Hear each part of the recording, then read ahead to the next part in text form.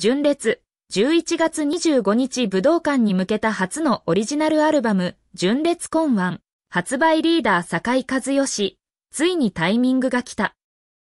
男性4人組歌謡コーラスグループ、純烈が、2010年にデビューして以降初のオリジナルアルバム、純烈今晚を発売した。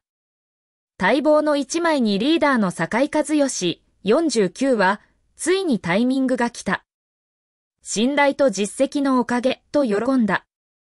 子役や特撮ヒーロー出身のメンバーが長い下積みを経て、NHK 紅白歌合戦常連の売れっ子に。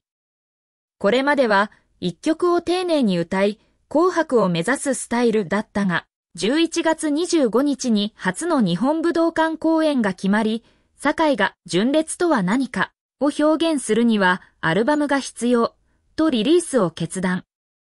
チャレンジだったり、裏切りだったり、いろんな意味を込めた、と、コンサート映えするロックやアイドル調など、多彩な楽曲を用意した。全10曲中6曲が新曲で、アニソン界のプリンス、こと影山博信、63や人気作詞家の松井五郎さん、66ら多様な作家人にオーダー。堺は、ペテンに聞こえるかもしれないけど、武道館が決まるだろ、という予想で進めたと明かし、2年がかりで夢の会場に照準を合わせた。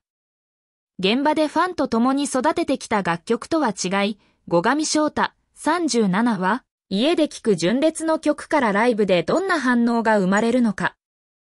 そこが一番楽しみとも期待する。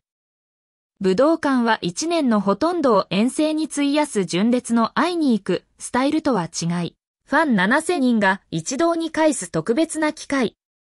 堺はキャリアハイなので見た方がいい。ああいう場に純烈がいることがギャグ。長いファンには笑っちゃってほしいと苦笑いしつつ、喜怒哀楽の後に最後は泣くと思う。よくぞここまで持ってきてくれたなって、としみじみ話した。来年3月末には23年1月に加入したばかりの岩永博明、44がグループを卒業する。岩永はジェットコースターみたい。